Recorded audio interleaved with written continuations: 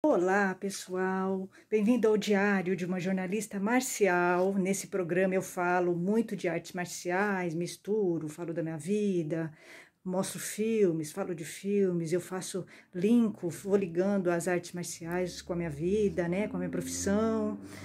E agora eu falei para vocês, né, nós estamos na biblioteca com uma jornalista marcial e daqui eu falo de livros, eu faço análises, eu faço análises também fa fazendo uma análise sociológica, até psicológica, né, do mundo das artes marciais, desse universo complexo, né, que é muito complexo para a mulher, o universo marcial, é um ambiente muito machista, misógino, tem muita discriminação no universo marcial, né, que foi o que eu vi em cinco anos de Aikido e quatro de capoeira, então vi muita coisa, é um ambiente muito complicado para a mulher, tá, o ambiente marcial, por isso que eu estou fazendo agora uma série especial sobre é, como reconhecer, né, um sensei psicopata, um sensei sociopata, né, como reconhecer colegas, né, também que treinam com a gente, que tem esse perfil do sociopata, do psicopata, né, como eu falei para vocês, todos os meus senseis de Aikido foram, era, foram, são, têm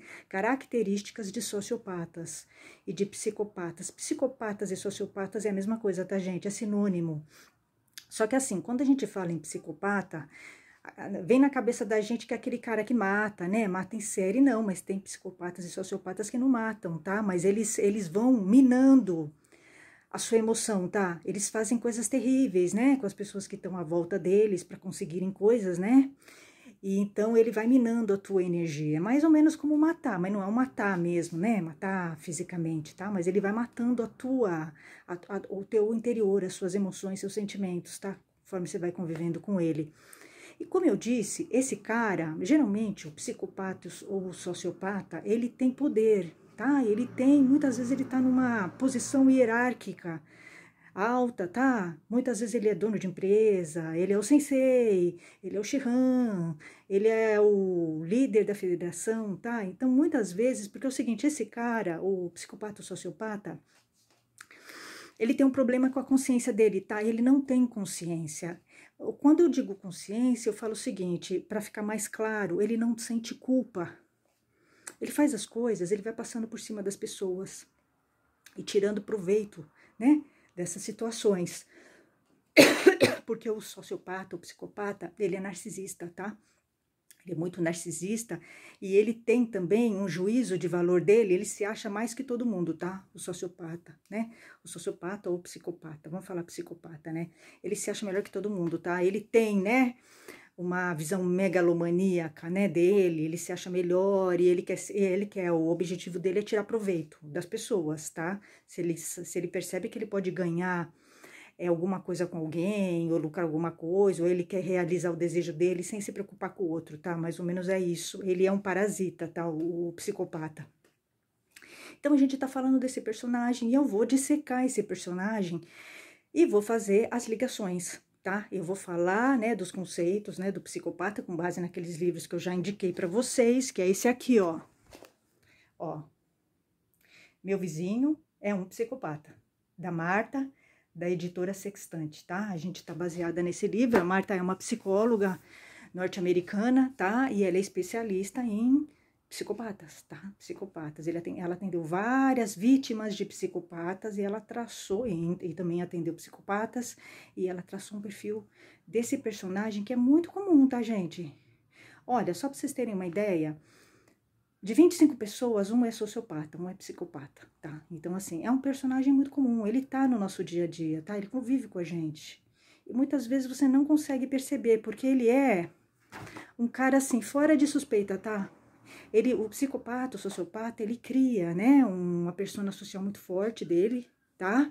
Ele cria, então ele, ele tá sempre assim, você vai ver um psicopata, um sociopata, geralmente ele tem uma família, né? Aquela família doriana, tem filhos, tá? Assim, você olhando, você percebe, você acha que ele é, que ele é uma que é pessoa do bem, tá? Ela é uma pessoa sobre, ele não fica sob suspeita porque ele já trabalha isso para esconder a psicopatia dele, tá? Então, sociopata e psicopata, eles vão criar uma persona social muito forte, de que ele é um cara bom, que ele ajuda, tá?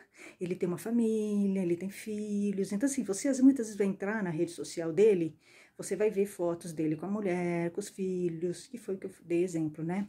O meu primeiro, o meu primeiro professor de Aikido, que eu apelidei de Sensei Riksal bem grosso, tá? É o apelido dele, ele é real, ele existiu, tá? Ele foi meu primeiro professor, infelizmente, de Aikido da Makoto, né? Contei para vocês isso. E o que aconteceu? Ele tem todo um perfil de sociopata.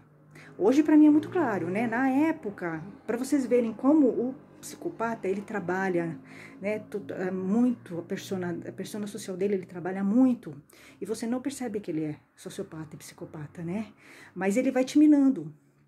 Se ele achar que você pode dar um lucro para ele, ou ele cismar com você, sabe? Ele quer satisfazer ele, na verdade. O psicopata, ele, ele quer se satisfazer em cima das pessoas, tá? Ele não se preocupa com o outro. Que foi né, o que aconteceu, que eu contei para vocês, que ele deu em cima de mim, inverteu as coisas. Então, a gente vai vendo, eu fui vendo todas as características do Sensei Rick bem grosso, e eu fui entendendo que ele é um psicopata mesmo. Ele é. Ele tem todas as características, né, de um psicopata. E aí, eu tô agora, a gente tem que entender, para a gente entender um pouquinho quem é, quem é o psicopata, como ele funciona, por que, que ele é assim. É, então, a gente vai falar então da, do, do, do, surgimento da consciência. O que, que é a consciência, gente? Todos nós temos consciência, tá? Mas o psicopata, ele não tem consciência. Ele sabe que ele fez uma coisa errada, mas ele não sente culpa. Quando a gente faz uma coisa assim, vamos supor, quando a gente magoa uma pessoa, né? Quando a gente maltrata um animal, quando a gente tenta tirar o tapete de uma pessoa, o que que faz com que a gente não faça isso, né? O que que segura a gente? Consciência, tá? A consciência é quem, na verdade, modula o nosso comportamento. É a consciência que impede que a gente faça coisas que vão magoar outras pessoas, tá? É isso que eu quero dizer. Mas tem pessoas que não têm consciência, tá? Que são os psicopatas. É esse, esse em cada 25 pessoas, esse um. Ele não tem consciência, ele vai passar por cima, né, do sentimento das pessoas, né, do, do e ele vai para conseguir o que ele quer, que foi o que o sensei é, Rick Salbengross fez, né? Ele é um sociopata, ele é um sociopata típico, tá? Então, ele é uma pessoa desprovida de consciência. Ele sabe que está fazendo errado, ele sabe, mas ele não sente culpa.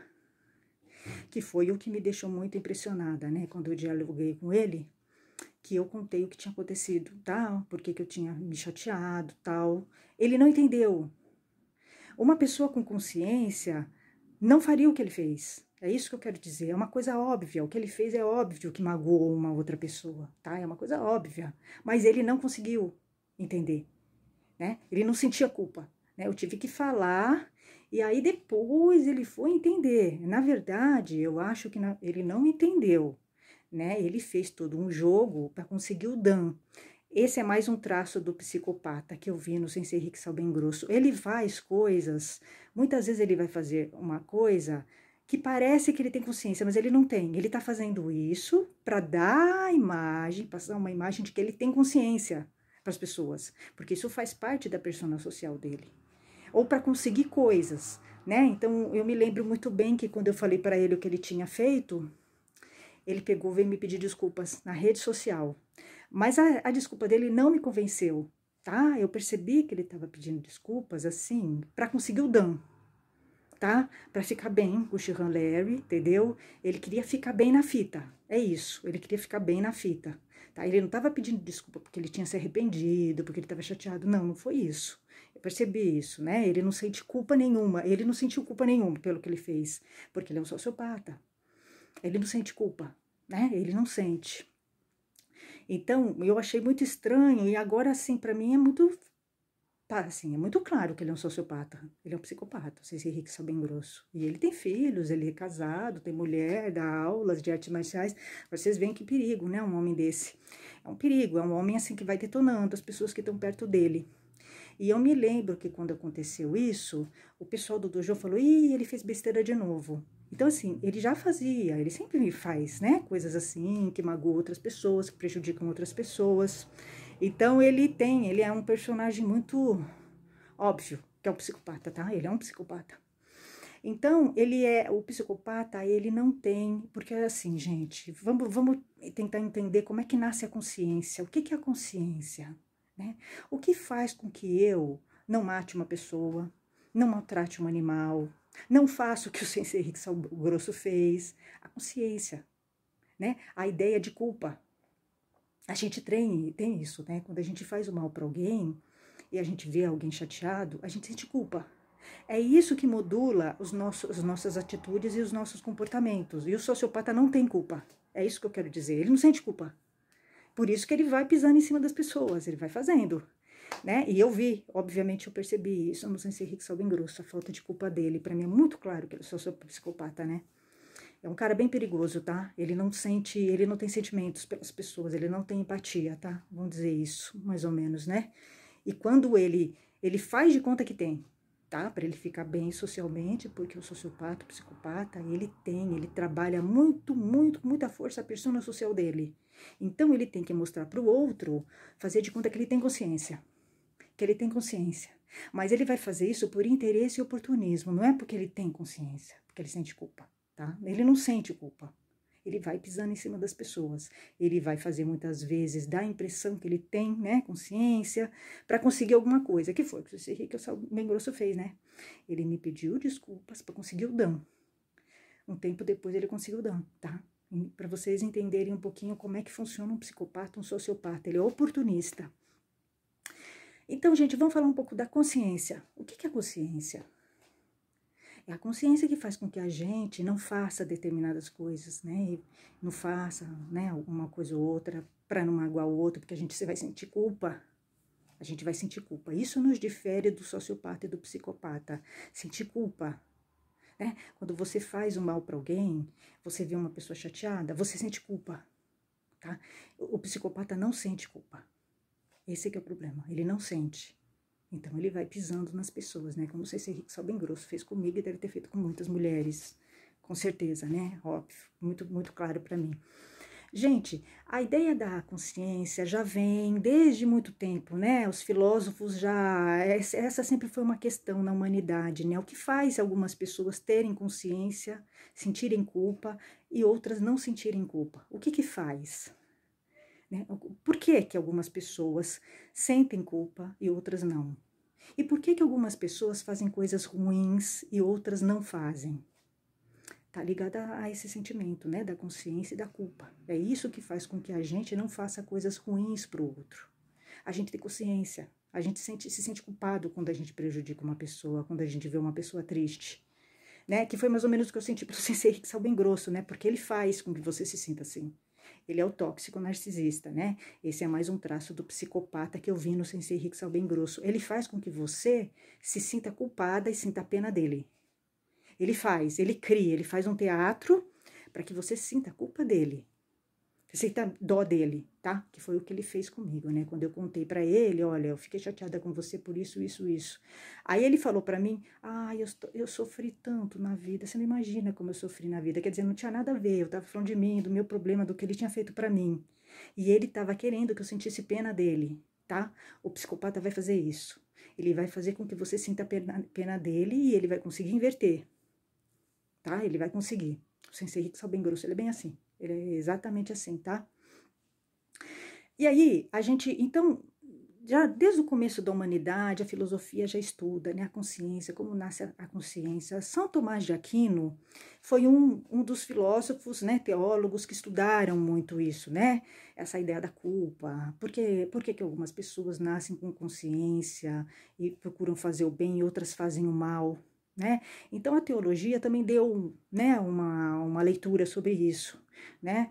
São Tomás de Aquino foi um deles, né, que eh, nunca se chegou a uma resposta, né, mas se supunha que muitas vezes se fala que Deus, né, deixou algumas pessoas mais boas, outras piores, outras ruins, né, é, a leitura da teologia é uma leitura ligada à religião, à espiritualidade, tá?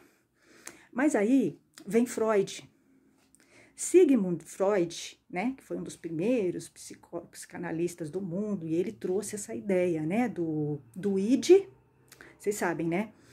Nós temos o id, o ego e o superego, tá? São duas, são três departamentos que estão dentro da gente e que vão tentar se equilibrar, tá? Então, a, a, a, muito para você entender um pouco da consciência, você tem que entender o que, que é o id, o ego e superego, tá? O id é a parte irracional, né? São os nossos instintos mais primários, comer, beber, né? É, é, é o instinto da sobrevivência. O instinto da sobrevivência é o id, é o id.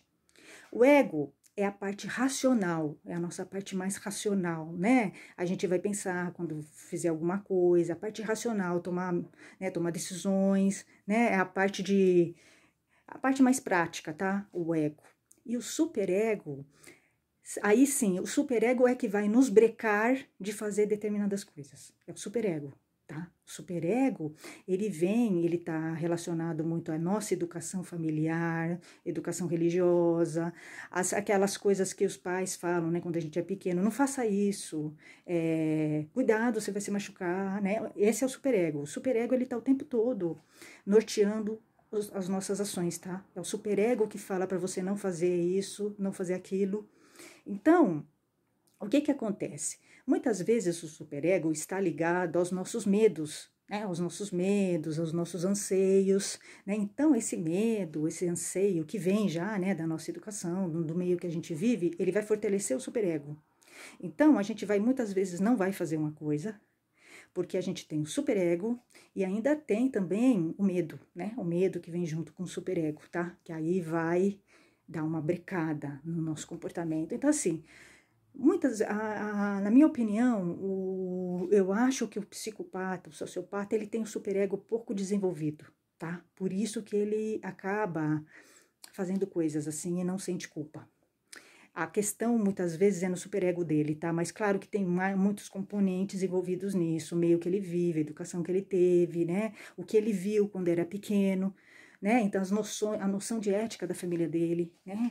O que que a família dele passou porque para ele, porque assim, a gente começa no, entre os três e os cinco anos, é quando a gente começa a ter né, essa noção do, da ética, do que que a gente pode fazer, o que que a gente não pode fazer, né? O que que é correto, né? Então, a nossa, a, o nosso sistema né, de moral, né, vai ser passado pela nossa família quando a gente é pequeno. Ou você aprende ali, ou você não vai aprender mais, tá?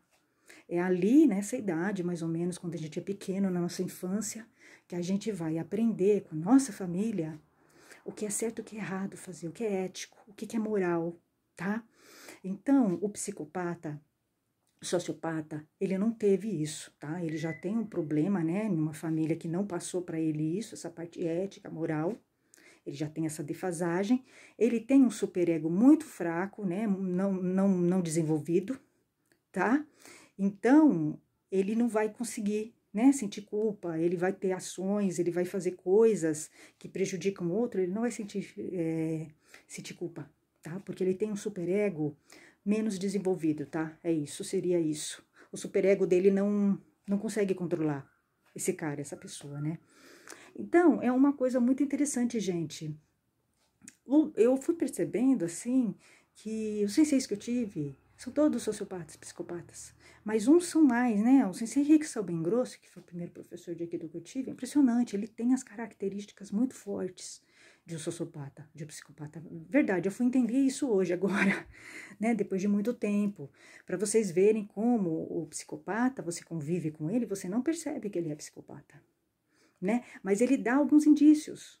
Ele dá alguns indícios, né? De que ele era que ele é psicopata. Ele deu. Ceci Henrique Salbengrosso deu indícios de que ele era psicopata, né? Ele, ele tinha muito medo, eu percebi que ele se incomodava muito quando eu entrava na. Ele tinha muito medo de eu descobrir coisas dele, tá? Eu percebia isso, ele se incomodava muito, era como se ele escondesse coisas, né? Tanto é que eu lembro que uma vez eu nem falei nada, mas ele virou para mim e falou: Ué, você tá olhando minha rede social? É, você tá, você tá eh, investigando a minha rede social? Então, assim, ele tinha muito medo, né? É, era como se ele escondesse coisas, tá? Porque o psicopata ele vai esconder coisas, né? Ele não quer ser descoberto. Ele não quer ser descoberto. Então ele vai ter sempre um comportamento meio suspeito, tá? Como se ele tivesse medo de você descobrir que ele é sociopata, tá? Que ele é um psicopata. Então eu percebi isso nele. Ele tinha muito medo, né? Muito medo assim de descobrir coisas dele, de ver coisas nele, né? Então, ele tem muitos elementos, ele é o típico, o seu CC Rick Salbengrosso, ele é o típico sociopata psicopata, muito claro para mim, ele tem características muito fortes disso, tá, que eu consigo perceber e me lembrar muito bem, né? E aí, eu, eu agora para mim é muito claro que ele é um psicopata. Eu estive junto com um psicopata e por isso que ele causou, né, tanto sofrimento e tanta dor. E ele, ele vai ele vai causando, tá? Ele vai causando.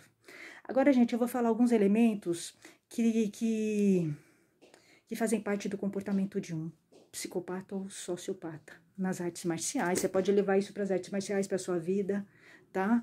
É uma forma de você entender um pouco como é que o psicopata, o sociopata funciona. E principalmente a gente vai ter muito sociopata e muito é, psicopata nas artes marciais. Por quê? Porque o psicopata e o sociopata, né, ou sociopata, eles são muito vaidosos. Eles são muito vaidosos. E a arte marcial, ela dá um poder para as pessoas, tá? Ele vai buscar isso. Então a gente vai encontrar muito, um número grande de sociopatas e psicopatas nas artes marciais tá? Porque eles vão buscar mais poder, né, nesses lugares, e esses lugares também vão alimentam, né, muito o ego da pessoa, deixa a pessoa muito vaidosa. E o sociopata e o psicopata, eles são muito vaidosos, muito vaidosos, eles são bem narcisistas, tá? Eles se acham mais que todo mundo, eles se acham, e eles querem pegar, né? Eles querem manipular as pessoas e se aproveitar das pessoas, tá? Não tem troca com sociopata. Com psicopata não tem, não tem troca. Não tem troca, tá? Não é um relacionamento, né, saudável, é tóxico, né? Então, eu vou falar alguns, alguns elementos que, que caracterizam um psicopata, tá? Ele vai, ser, ele vai fazer confusão, tá? Aonde ele tiver, aonde o psicopata estiver, ele vai fazer confusão, tá? Ele vai fazer confusão, ele vai manipular as pessoas, ele vai manipular o sistema social, tá? A favor dele, ele vai fazer falcatruas para conseguir vantagens, né? As coisas. E ele vai, ele vai tirar tapete de pessoas, tá? Ele vai tirar tapete de pessoas para ele conseguir o que ele quer, tá? O segundo comportamento, gente, é o comportamento antiético. Ele, ele é o seguinte, ele vai, ó, é muito, isso é muito interessante, tá?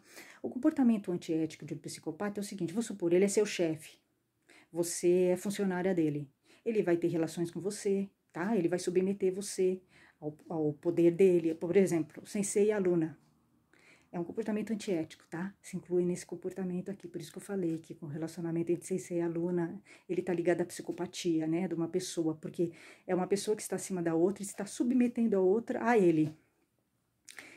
Então, vocês estão vendo, né, como se encaixa, como o sensei Rick bem grosso se encaixa, né, nas características do psicopata, tá? E os senseis que casam com a aluna, namoram com a aluna, também se encaixam no comportamento antiético, que é o comportamento de alguém que está numa hierarquia maior com alguém que está numa hierarquia menor, tá? Então, é o chefe com a funcionária, o sensei com a aluna, e por aí vai, tá? É o comportamento antiético. Ele vai tirar vantagens, né, da, da pessoa que está abaixo dele. É isso, que é o que eu falei, né? Sensei com a aluna, ele tá tirando vantagem da aluna, né? Ele tá seduzindo a aluna, enganando a aluna e tá usando da posição dele, tá? Ele vai ser uma pessoa muito intolerante, tá? E entediada, tá? Então, assim, o psicopata, ele se entedia muito, ele se cansa, né, dos ambientes, é, e ele sempre vai ter uma visão de que todo mundo está abaixo dele, tá? Ele é melhor que todo mundo, tá? Ele tem essa visão de que ele é melhor que todo mundo, tá? Quarto ponto é o comportamento parasita, tá? Ele vai sugar as pessoas, ele vai se aproveitar do trabalho das pessoas e ele assinar o trabalho das pessoas, ele vai fazer as pessoas fazerem as coisas para ele, tá? Ele é o parasita, ele vai sugar as pessoas tá? Vai ameaçar, chantagear as pessoas, mesmo que essa ameaça, essa chantagem seja seja silenciosa, tá? É esse comportamento também vi.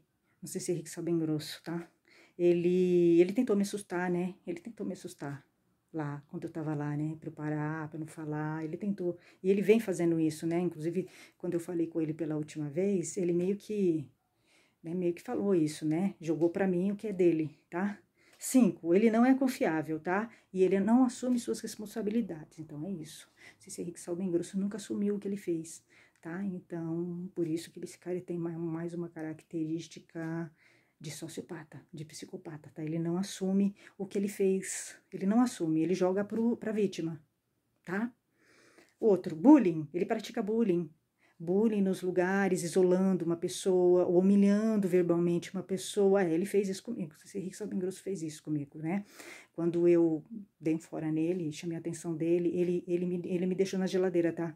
Ele não me dava aula, ele não me orientava. E outra coisa, ele jogou todo mundo contra mim, tá, doutor Jô? Então é um bullying, com certeza é um bullying, né? Porque ele criou ele criou uma raiva de todo mundo comigo, tá? Então eu fiquei isolada. E, e, e ele começou, ele inventou coisas, né? Ele inverteu, tá? Ele inverteu. Então, é bullying, ele praticou bullying. O Sensei Rick bem grosso, ele praticou bullying, tá? Ele vai buscar o poder. Em qualquer lugar. Mesmo ele tendo poder, ele sempre vai querer mais poder, tá? O, o sociopata, o psicopata, ele vai buscar sempre poder, tá? Nunca vai estar suficiente. Mesmo ele tendo poder, ele vai buscar mais poder, que é o que eu vi, né? Mais um elemento que a gente pode colocar o Sensei Rick grosso, tá? Os dans que ele foi tendo, né? Quanto mais dan e tal, ele lá conseguindo dans, mesmo com base em mentiras, né? Em coisas. Ele mentiu para conseguir os dans, tá? Ele vai criar conflitos entre os membros. Sim, sem dúvida, né? Que foi aquilo que eu falei, né? Ele começou a julgar todo mundo contra mim, inverteu coisas, né? Fez um motim contra mim, né? Então ele vai incitar o grupo contra a pessoa que ele tá tentando derrubar, tá? A vítima, né? Ele vai incitar o grupo, vai julgar o grupo todo contra a pessoa, tá? Ele é enganador e superficial. É, exatamente isso que eu falei para vocês, né? Os relacionamentos do Sensei Rick bem grossos, você percebe, são superficiais, ele não se envolve, ele não assume as pessoas, né? Ele engana as pessoas, ele, ele, ele cria uma persona social muito forte dele e ele vende essa, essa, essa imagem muito forte dele, que não é ele. Tanto é que eu falei, quando ele vem falar comigo, ele começa a falar comigo zen, tá? Todas as vezes que conversei com ele, ele conversa comigo calmo, tranquilo, não zen, fala de harmonia. Aí quando eu começo a falar as coisas para ele, aí sim, cai a ficha dele, cai a máscara dele e começa a me atacar, a me agredir, tá? É assim, ele é assim mesmo, tá? Comportamento intimidador. É, sem dúvida, né? O tamanho dele já intimida. Ele, né, começou, né, várias vezes, tentou me dar um tapa no rosto lá, e aí ele tentou me intimidar, né? Com a cara feia, ele tentou me intimidar. E teve uma cena muito interessante que foi a mulher dele. A mulher dele tentou me intimidar por meio dele, né? Ele levou a mulher no dia, um dia lá. Tô contando exemplos, tá?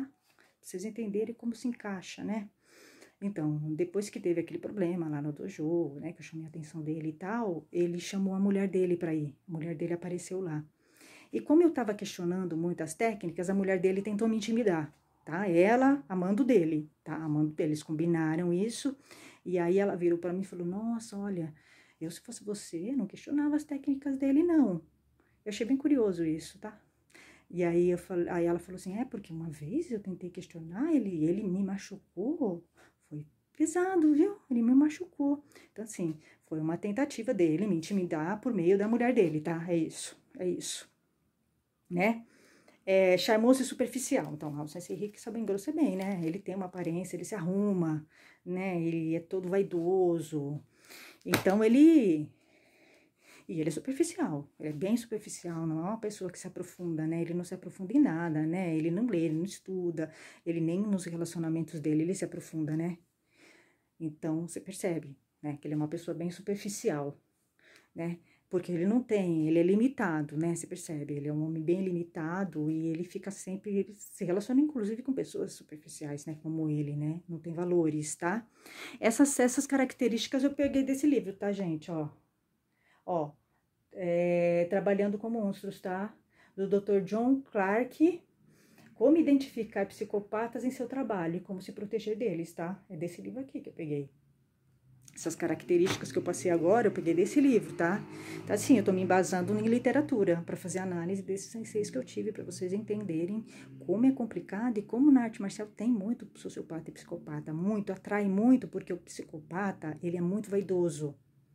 Ele é muito vaidoso e ele quer poder. E a arte marcial, ela dá isso para as pessoas, tá? Ela dá, né? Você aprende uma arte, você tem uma arma, e é uma, né? Você vai melhorar teu corpo, você vai ter poder, tá? Então você vai ver que na arte marcial tem muito sociopata, muito psicopata, porque o, o cenário, o ambiente atrai esse personagem, né, doente, bem doente. Você vai ver que na arte marcial tem muita gente superficial, né, que só pensou no corpo, no físico, né? Então, tem todos esses elementos que atraem o psicopata, tá? E acabam aumentando, ampliando, tá? As características ruins que ele tem. É isso, tá? Bom, gente, hoje eu falei mais um pouco, né, de quem é esse sociopata, quem é esse psicopata. Eu trouxe um exemplo real, tá? Sensei, o sensei Rick Salbengrosso, ele foi meu professor, ele existe, tá? Ele tá dando aula de artes marciais, ele tá por aí, fazendo mais vítimas, tá? Então, ele existe, tá? Eu tô trazendo exemplos, eu vou trazer para vocês exemplos reais, para vocês entenderem que ele está, ele pode ser seu sensei, ele pode ser seu professor. E aí você vai ter que ter muito mais cuidado. Muito mais cuidado, tá? É isso, gente. Até mais. Tchau, tchau.